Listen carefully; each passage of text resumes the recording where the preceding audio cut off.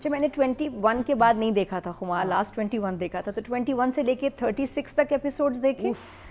तो स्टोरी समझ आए कि मैं का प्रोमो भी नहीं देख सकते देखने तो फुल एपिसोड्स देखने अच्छा हार्ड वॉच भी नहीं थी अब देखने को मज़ा आ रहा है अब देखिए हाँ। हाँ रात को शुरू सहरी तक देखती रही तो मज़ा आया।